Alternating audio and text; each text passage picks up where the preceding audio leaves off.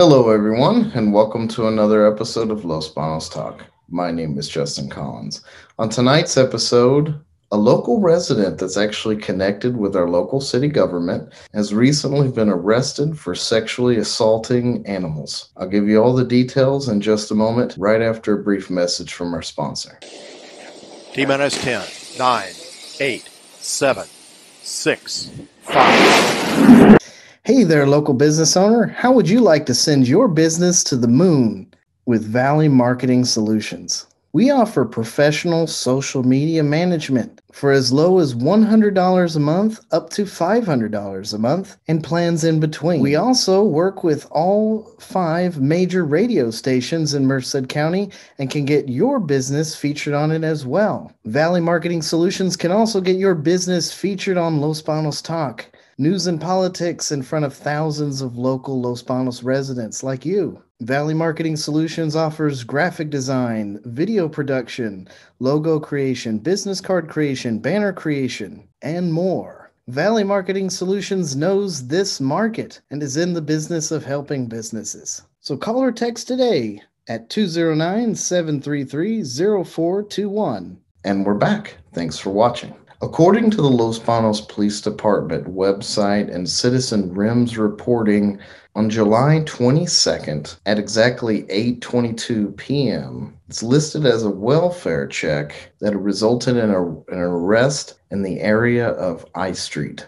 Police haven't been able to release much information about this case as it's still under investigation, but police were dispatched to the location after calls of a disturbance. The individual Martin Irwin of Los Banos was arrested on charges of sexually assaulting animals. Now, granted, I want to reiterate that just because someone's arrested technically does not make them guilty. Everyone is innocent until proven guilty, but when someone is arrested for something, that means there was at least probable cause for the arrest, but it doesn't necessarily imply that they're guilty. However, when it's a sexual offense, even regarding animals, it still kind of puts me on the alert to make sure that we protect the community. After Googling his name, I was able to actually find his LinkedIn profile. As you can see, the picture is uh, near match and from Los Banos, California. And interestingly enough, I saw here under volunteer experience that he's a commissioner of our local Parks and Rec division. I wanted to verify this as to me, this is pretty significant since our Parks and Recs division has under its purview a dog park as well as a lot of children use parks. And so I looked at a recent uh, meeting that our Parks and Recs Commission has had, and it does show right here uh, that he's under the roll call, and there he is listed again. And the reason why I'm bringing this up is because Parks and Rec has to do with recreation, to include that of children and also animals, such as our dog park.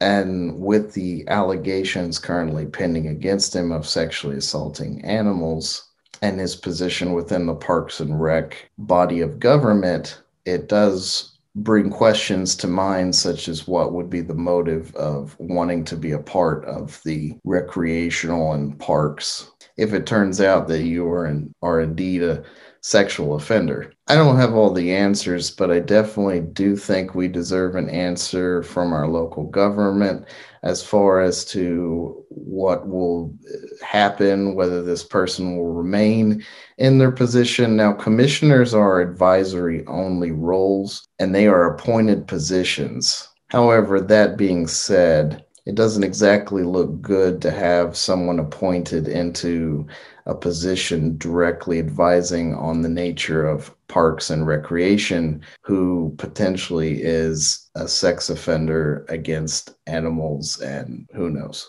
If you haven't already, please like, follow, subscribe to Los Banos Talk. We have Facebook, Instagram, YouTube, Twitter, and of course, losbanostalk.com.